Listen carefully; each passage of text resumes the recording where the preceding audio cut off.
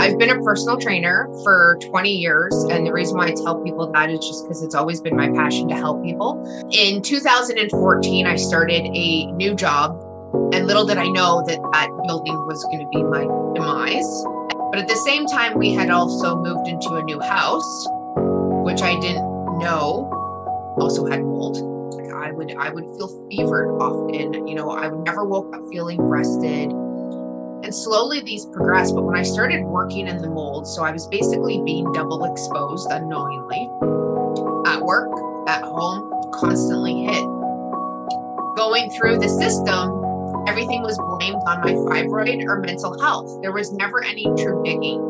I was lost in the system about my, my symptoms, about the fibroid. It took a unfortunate miscarriage in um, 2018 and I had actually gotten so sick that I went on a medical leave in January of 2018. So it was the miscarriage that was finally flagged um, the fertility clinic because you know we've been struggling with fertility as well. That oh maybe she does need surgery. Maybe this giant mass is affecting her fertility. So for me it was like okay that's going to be the golden ticket, right? Like I'm going to get this thing out and I'm going to have my life back because at that point, I was waking up exhausted. I was on the couch. I was lucky if I got the dishes done.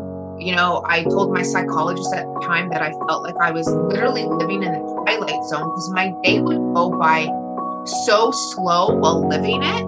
But yet at the end of the day, it was like, where did my day go? Because I also was having extreme memory loss. I was stuttering, you know, I was not speaking proper sentences. I was just really falling apart. And after the surgery, unfortunately, nothing changed. So I started digging. Um, I reached out to a naturopathic doctor. At that point, I was like, all right, let's do some tests because there's got to be more. And at that point, I was, I was frankly, I was suicidal. I didn't want to live anymore. I had over 70 symptoms and I had an organic acid test. And lo and behold, my entire body wasn't working.